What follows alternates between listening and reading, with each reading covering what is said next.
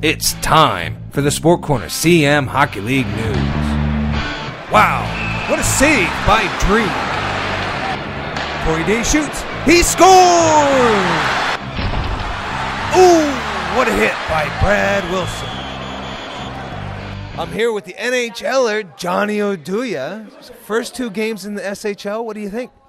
Yeah, it was a lot of fun.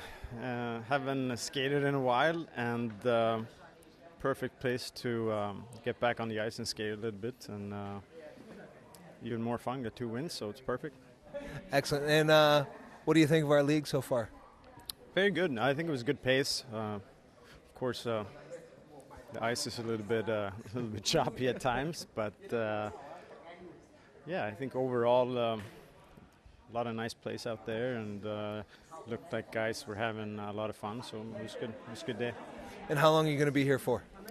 I'm here uh, for another uh, five days or so. So uh, intention is to uh, try to play on Sunday two uh, two games if my if my groins uh, uh, doesn't give up until then. And uh, yeah, I'm looking forward to it. Be be uh, it'll be fun. All right, thank you very much. All right, thank you.